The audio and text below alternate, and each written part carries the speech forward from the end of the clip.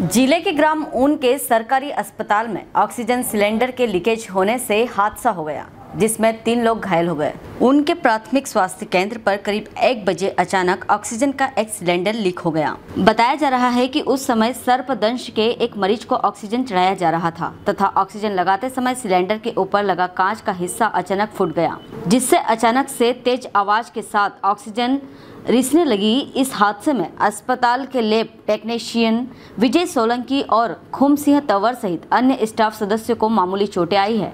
एकदम हुए इस हादसे के कारण अस्पताल में अफरा तफरी मच गई। हालाँकि इस हादसे का कोई कारण स्पष्ट नहीं हुआ है।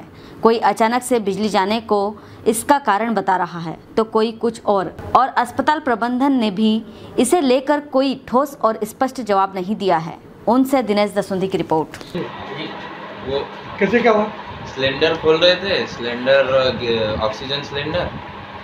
खुल नहीं रहा था तो उसको खोला तो एकदम से वो ज़्यादा फ्लो हो गया उसका। किसको? किसको चोटें आई हैं? मेरे को आई है और एक अटेंडर है उसको हल्की सी आई है। अच्छा। आपको हाथ में लगा है? कितनी बजे की बात है ये? अभी दस पंद्रह मिनट पहले क्या नाम है आपका? Vijay Solanki left hello friends आप देख रहे हैं हमारा channel S W twenty four news हमारे सारे वीडियो सबसे पहले देखने के लिए आप हमारे चैनल को सब्सक्राइब करें और पास में लगे बेल आइकन को दबाना बिल्कुल भी ना भूलें।